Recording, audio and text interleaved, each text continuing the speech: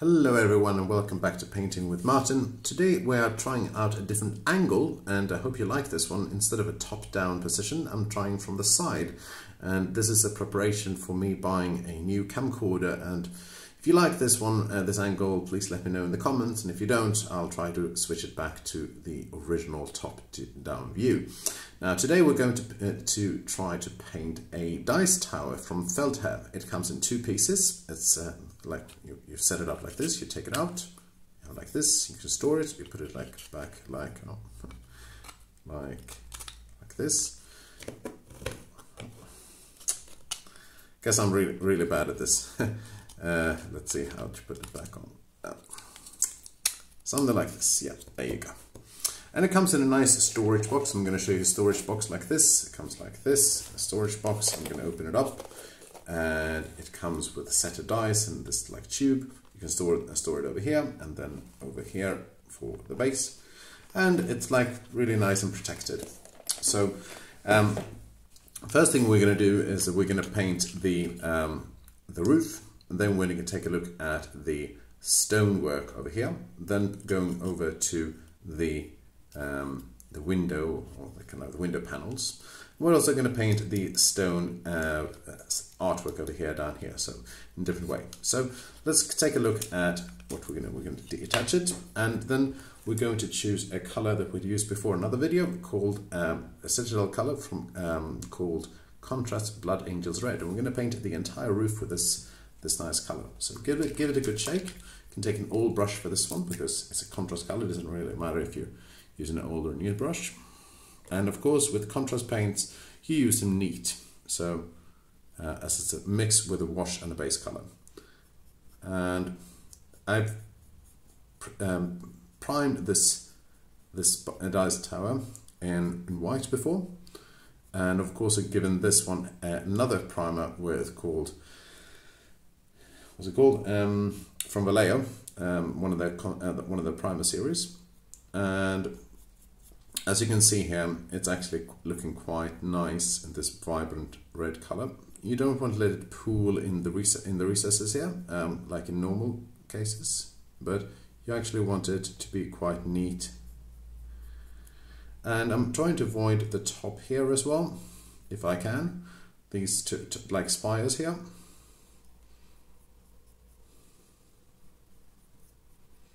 And applying it vigorously over the entire roof top here.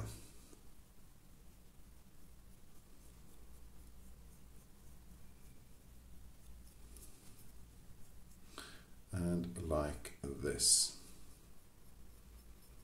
When it comes to the smaller details, you can use a finer brush if you like.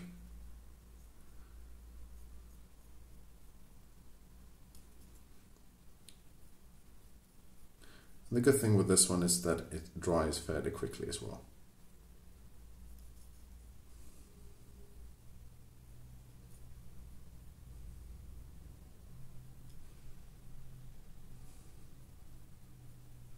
If you make mistakes, you will have a decent opportunity for later on to make it up. Now before this one has actually time to dry, uh, we're going to apply another set of colour. I'm going to put it down over here, close the lid so it doesn't spill all over in case we accidentally hit it. And that means we're going to try a different way here. And that's, that is a fluorescent colour. Oops fluorescent color from uh, Vallejo. I've never really used this color before, so it will be a new thing for me. And we'll see if it turns out well. If not, we'll paint it over. And I'm going to apply it directly into the wet paint to try to give it a nice look. And it's designed to bring out some of the vibrant colors here.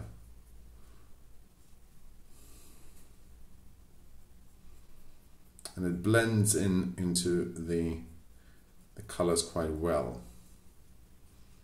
And we'll see if the effect is actually something we want to keep.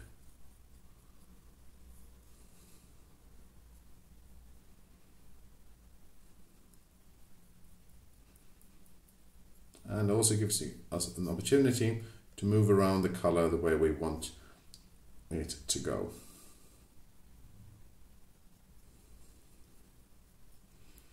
So this is kind of like starting the, the game with both a wash and a highlight, which is a little bit unusual.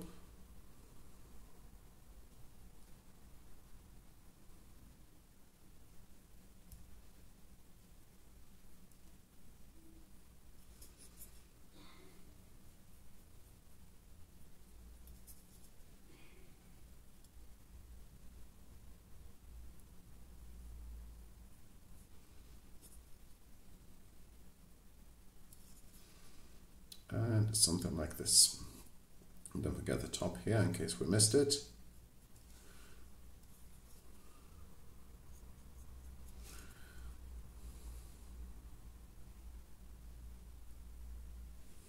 Something like this. Now we're going to move on directly to the stonework. And for the stonework, in these cases, it might be um, uh, some of the stuff I made mistakes here with, we'll leave that one to dry. With the stonework, we're going to go directly into a technique I started out using when I started painting miniatures, and that is actually um, to paint, give, the, give it a wash straight away. Um, and I want to facilitate, uh, uh, make it look like kind of like sandstone. So I'm going to try some Agrax Earthshade over the stonework. And it's a, a wash so we can apply the wash over the entire stonework and we apply it neat. I'm going to try and make sure that it doesn't actually um, so as you can see here now it's starting to look quite okay now it may be a little bit too dark now so let me try and see if this was not the right choice. Sometimes it happens. So instead of that, we'll try a sepia wash, which is this one. We'll see if this one has another effect. And if it does, we'll go with this one and we'll simply wait until it's dry. And we'll try that one instead. We'll see the effect and then you can see the effect here straight away. Yes, I think that's much better.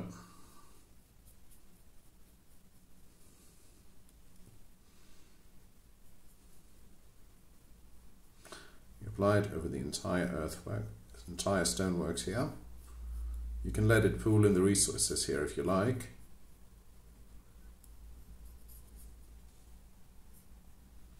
And you can simply paint over where I did the Agrax Earthshade by mistake. So don't do Agrax Earthshade, uh, do uh, sepia wash instead, Seraphim Sepia if you're using um, Citadel or if you're using Vallejo, just sepia wash.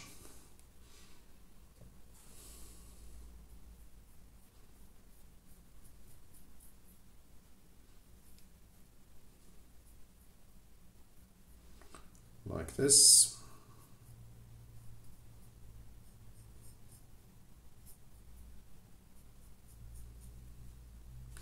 And this one here is actually a birthday present for a good my best friend who didn't get a birthday present because I forgot about it, so sorry about that. Um, so, and I picked this one up in Essen Spiel. I bought it from from Feldherr. I think they 3D printed it, so normally they do make wonderful inserts. So if you haven't used um, Feldherr's inserts before for your board games or your miniature games, uh, I strongly recommend uh, trying them out. And there will be a link in the description box for their um, for the website as well. Don't forget the arches in the in between here. Make sure you really get into those crevices with this wash.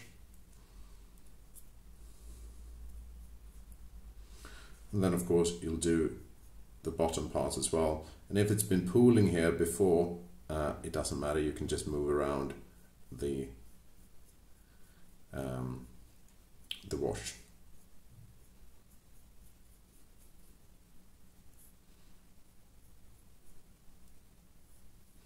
And you should try a little pool here in the kind of like the sides here.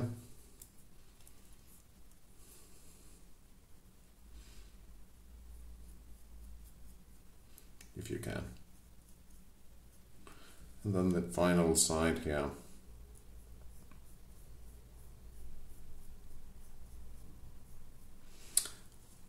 Go. And we can also do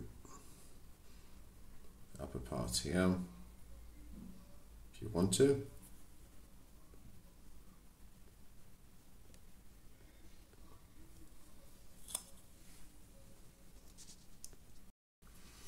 So this is what it looks like when it's kind of like before it's dried. And now we're going to turn our attention to the, um, the stonework here. The easiest way is just apply it with a black wash and then dry brush it and that's it. But I want to uh, try and give it a little bit more of a, a color variation. So I'm going to apply something very unusual, which is some Gorthor Brown. Let's see if I can do this. Some, so you know this, some Gorthor Brown from Citadel in a few selected areas. And I apply it neat with a small brush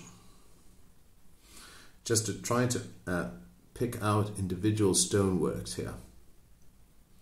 Can be a little bit here and on the sides.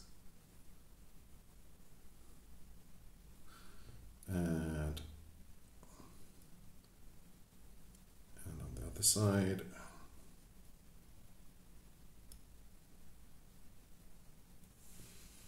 And it can be quite difficult to hold it, so I simply put my finger in here and turning it around.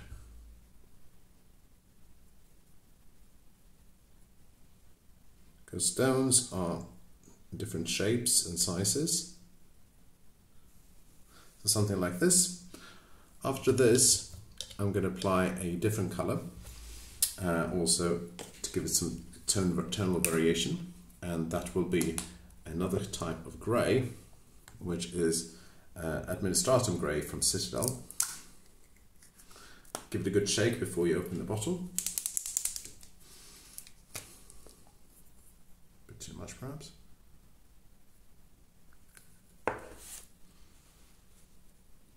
And simply see it's not much of the variation between these ones. Just give it a little bit more.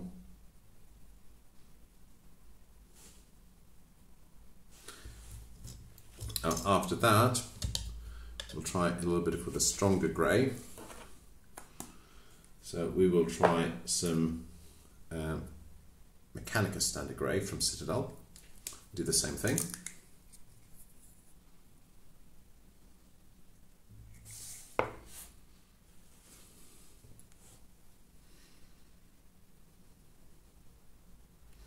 This time you see that it's really really standing out. And doing it uh, kind of like when you paint camouflage patterns, uh, you can really make sure that it's like at different angles and levels.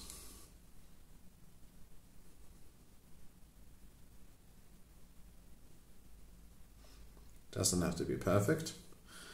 And perhaps over here as well. And then finally, we're going to put in some green to simulate some green texture, some moss growing in. And this is of course entirely optional, but you don't really have to do it if you don't want to.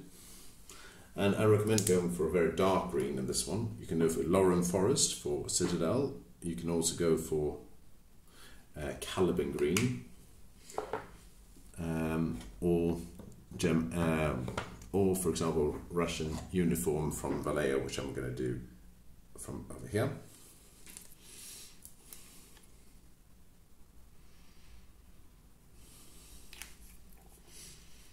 And it shouldn't be it shouldn't be too too too bright.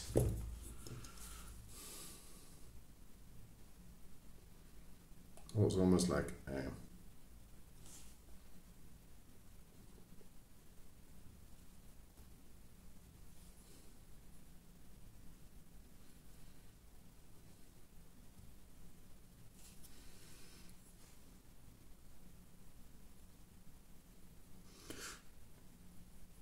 something like this. And while this one dries, you will simply apply the same thing over the crenellations here. But if you want to keep it, you can you can with the crenellations here, like the, kind of like where you get the dice out. I would could, you could also just paint it with cold grey or this one uh, neutral grey, which I'm going to do now.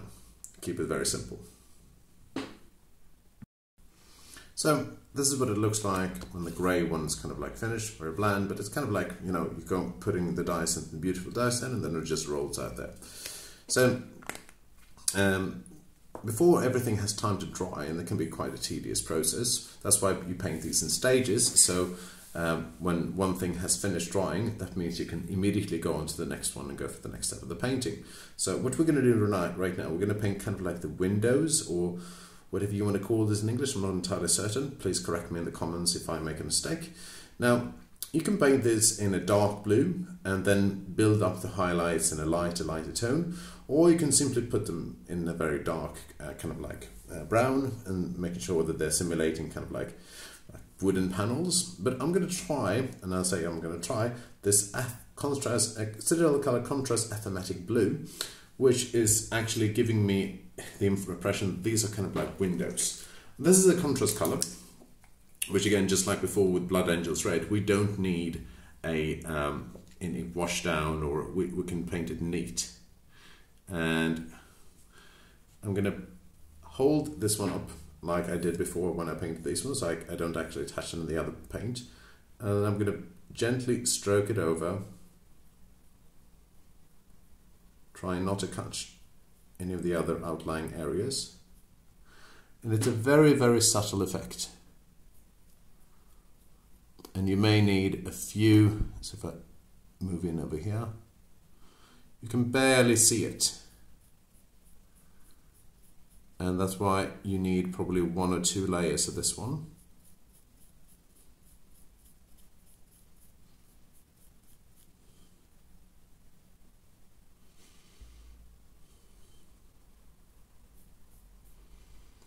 It's showing a little bit more. And this only works if you painted them white or a very light color before because they're not going to, otherwise this contrast color is not going to see anything.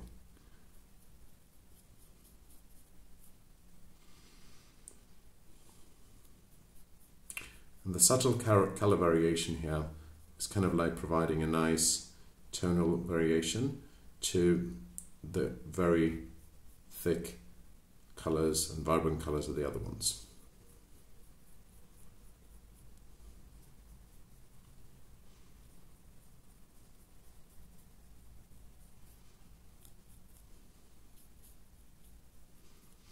I'd recommend putting two or three layers in this one.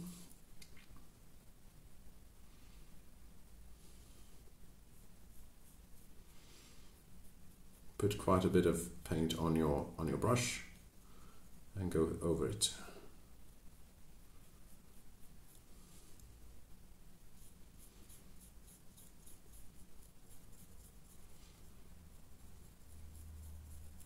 As you can see, some of the um, st outline stonework from the sepia wash hasn't dried fully yet, so we're going to have to wait until we continue with that stage.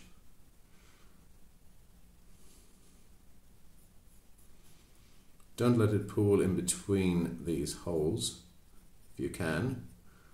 So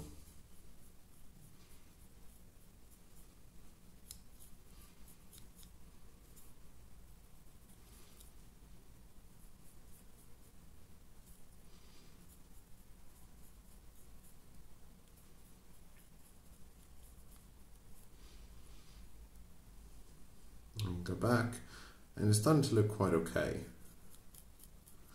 Again, putting a few layers, make sure that you decide how much of this contrast color you really want on your and if you really really want to you can even put a brush underneath here and touch some of the areas inside if you think that it's not showing enough. At least on two of the sides. Just going to show you the difference here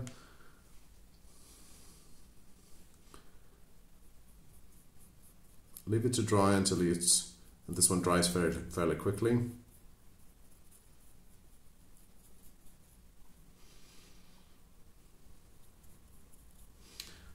And it's going to come out looking something like this.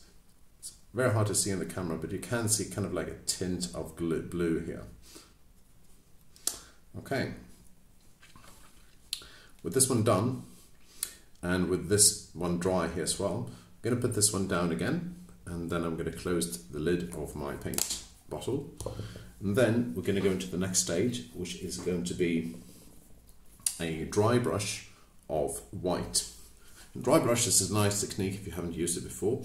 It means you take an old brush. This is from Vallejo's white. You can use Ceramite white from from uh, as well if you want to.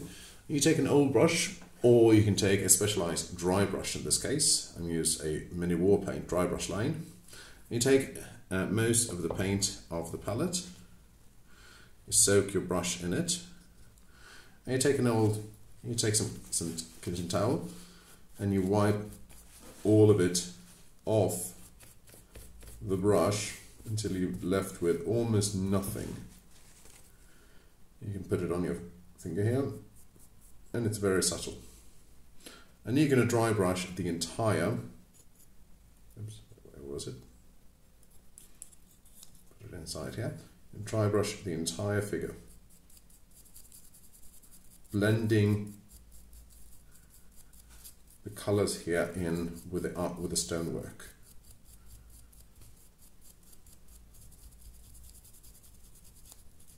Applying it vigorously over entire stonework.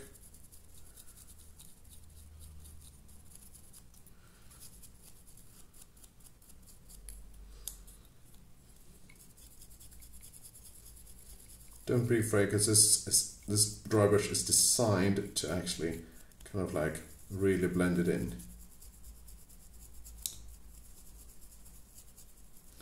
If you feel that it's not too much, but it's actually too little, you do it again, but you apply a heavier dry brush, which can be sometimes recommended for this one.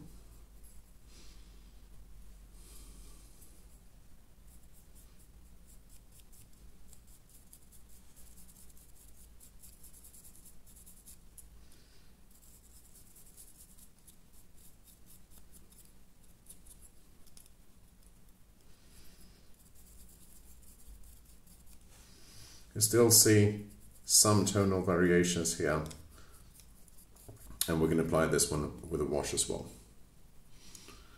Now you can see here the towers here looking quite okay. It's almost dried. And we're going to apply a dry brush over the um, over the tower as well. So clean your brush between, making sure that it's nice and proper and clean.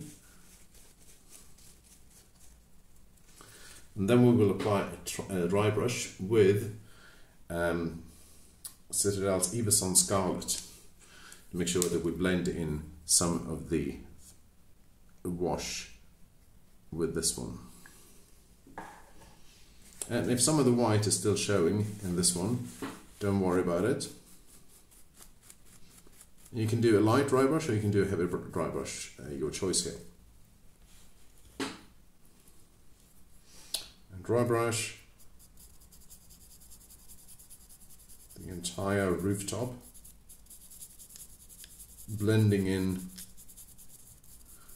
the, sh uh, the shade. This is a good way to actually do that um, if you're using contrast paint and especially it's pooling in areas you don't want it.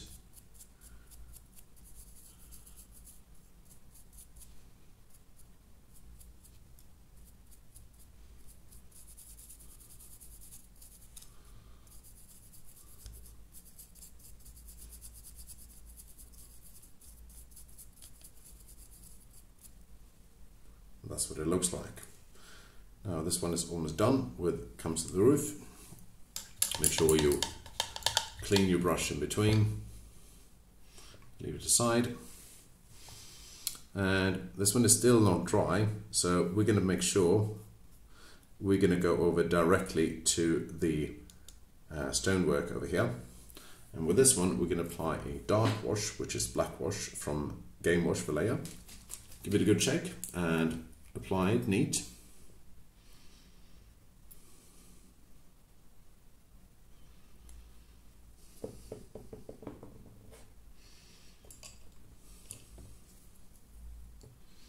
Same thing as before. Hold this one where the dice comes out.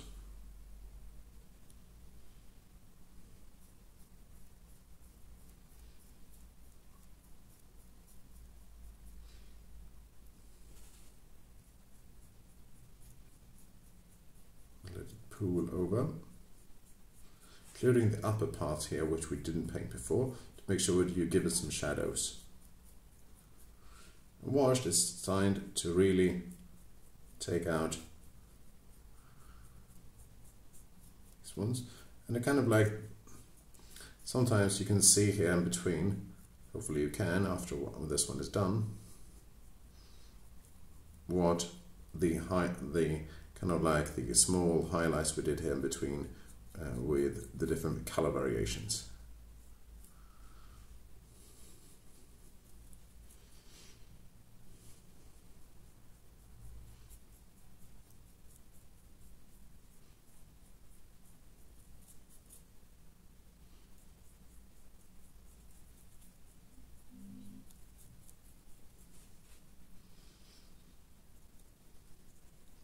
Don't let it pull too much in the recesses.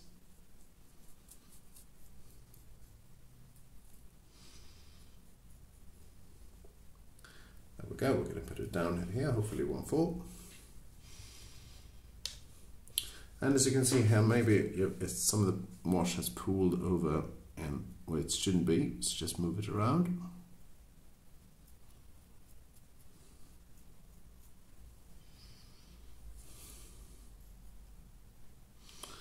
And apply the wash over it.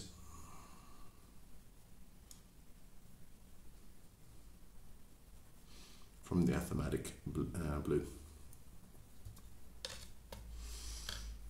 And before we go into the next stage, we're going to leave it to dry and then we're going to apply the highlight over the stoneworks as well as the golden cupolas. Now, when the wash is mostly dry, not all of it, but we're going to pay our attention to the uh, stonework, kind of like sandstone artwork, uh, or um, something like it. And we're going to put some dry, Citadel Dry Series Terminatus stone. This is a very thick and grimy uh, looking uh, paint, um, but we're going to paint it um, uh, with a dry brush over the entire, um, kind of like entire um, sandstone uh, part of the building. Same thing as we did before, dry brush uses an oil brush or a specialized dry brush. And you wanted this one to be a very, very dry, bright, uh, very, very light dry brush. So we're going to see how this one pans out.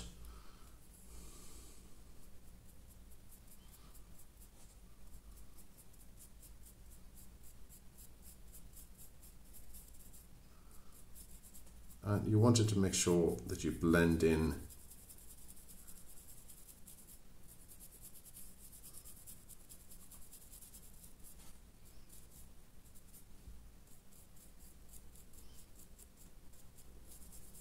all the areas where it looks too thick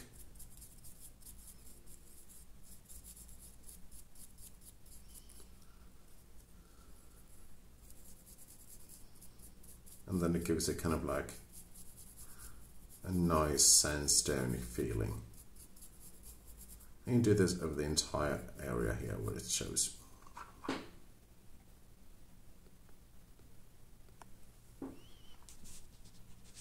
When it comes to the uh, bottom part, you can also apply a thick dry brush of Terminatus stone over this area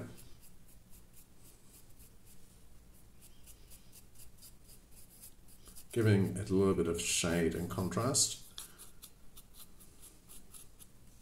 At least a bit of shade at least. You can apply it almost directly from the jar without actually, there's a very very heavy dry brush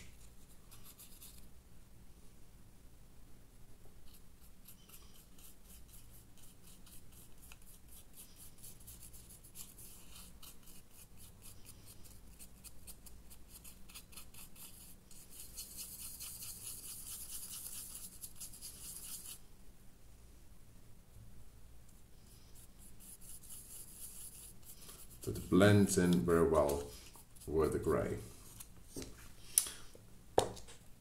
Now with that one done, uh, you can almost directly, immediately uh, apply a darker wash. But you want to make sure the wash is diluted with water, quite a bit of water, so the wash is much lighter.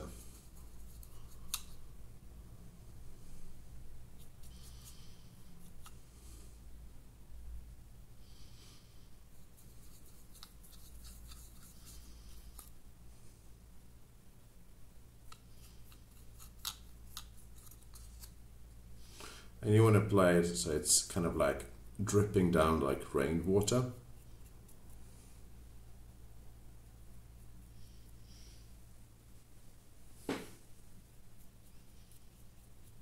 Kind of like a streaking motion that I've used in my other weathering effects video videos. So please take a look at that one. It will be in the link in the description box for this.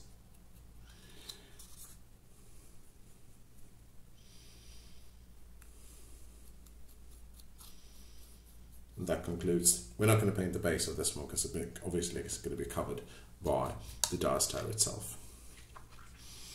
And there you have this one. You can see it's still dry, eh, it's not, still not dried entirely yet, so we're going to turn our attention to the rooftop. And the rooftop is going to be painted gold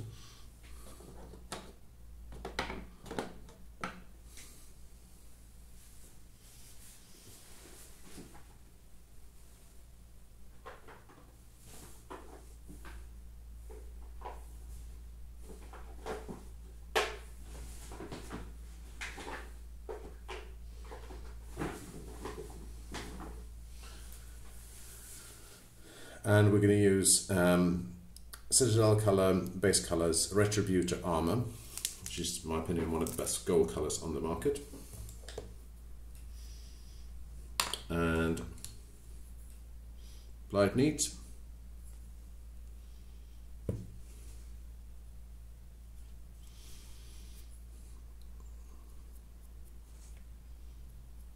Only the spires has a very subtle effect, but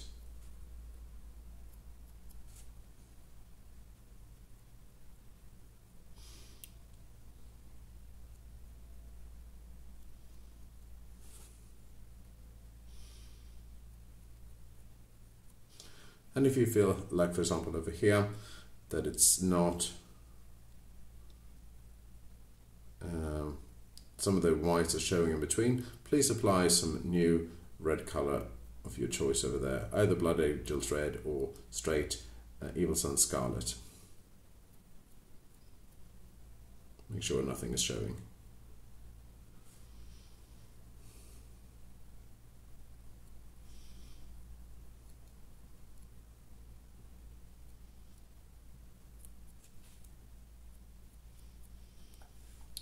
And there you go. Uh, same thing if you make mistakes on the way.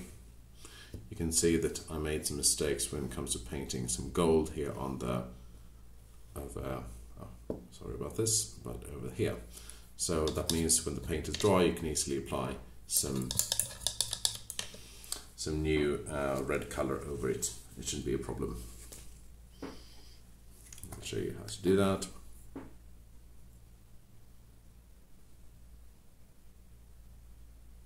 There you go. Otherwise, this is looking quite okay. And the only thing in the right now we're waiting for is um, to dry brush a little bit of uh, grey over the um, the wash over here that's been drying. And final, our final stage will be to dry brush some Terminatus Stone over the stonework over here on the main dice tower.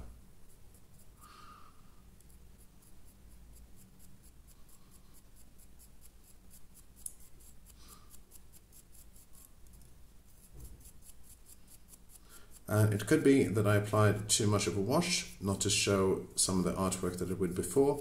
And if so, you can redo the step, like I should have done, and apply a very light um, watered down wash with about one part or two parts wash and, and eight parts water.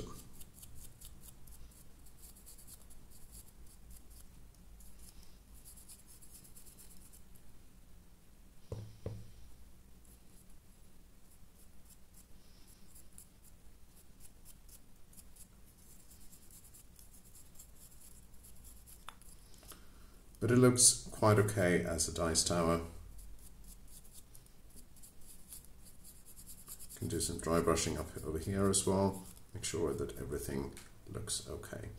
The, the only thing that you need to do here, if you want to, you can put some uh, wash on this one, make sure that it's not all white. Um, and the other thing you can do is that you should uh, cover this one with some uh, uh matte varnish when it comes to uh, so you can protect the dice tower. Uh, make sure that you know, protect it from wear and tear. And this is actually the dice tower. So if I now attach it, see if I can attach it now properly again. This is the dice tower from from Feldherr. If you like this video and you want to see more of these videos or other videos, uh, please don't hesitate to uh, subscribe to my video. It really helps me uh, grow and um, continue the channel. Otherwise, I really appreciate you for taking the time today to watch the video and I hope to see you next time. And thank you very much for watching.